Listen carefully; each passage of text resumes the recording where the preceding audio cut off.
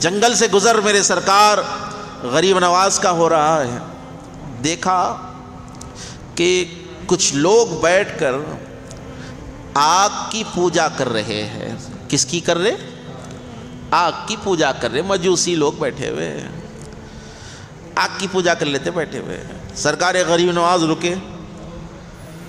इरशाद फरमाया कि तुम ये क्या कर रहे हो? कहा कि वही कर रहे हैं जो हमारे बाप दादा करते आए हैं। कहा कि क्या कर रहे हो? कहा कि हमारा मज़हब है, मजूसी है, आग को खुदा मानते हैं, आग आग को हम पूछते हैं। कहा कि आग को पूछने का मकसद, कहा कि इसलिए पूछते हैं कि क़यामत के दिन हमको दोजख में वो आग तकलीफ़ ना दे, इसलिए हम पूछते हैं। कहा कि कब से पूछ रहे हो? कहा कि हमारी बारह पीढ़ियाँ गुजर चुकी है। बारह पीढ़ियाँ, बारह पुश्तें हमारी गुजर चुकी है, ये आग की पूजा करते करते कहा कि इसमें हाथ डालो देखें ये तुमको जलाती है, नहीं जलाती है।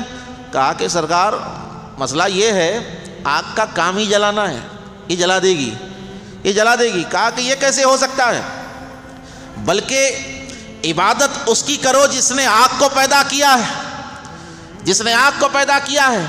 तुम नस्ल दर नस्ल इस आग को पूज रहे हो, इसकी पूजा कर रहे हो, लेकिन फिर भी ये तुमको जला रही है।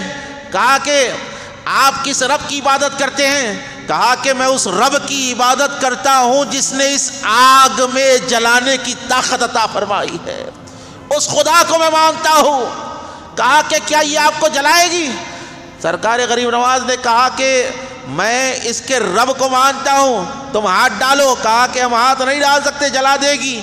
आपने अपनी नाले ने मुबारक जूती मुबारक निकाल कर वो आग में डाल डाल।